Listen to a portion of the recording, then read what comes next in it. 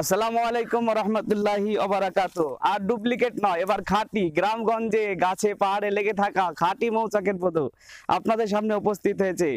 আমাদের দিনী ভাই আব্দুল কাইম ভাইয়ের সঙ্গে যোগাযোগ করুন, খাঁটি মৌচাকের মধু পেতে। স্ক্রিনে উঠে থাকা নাম্বারে যোগাযোগ করুন।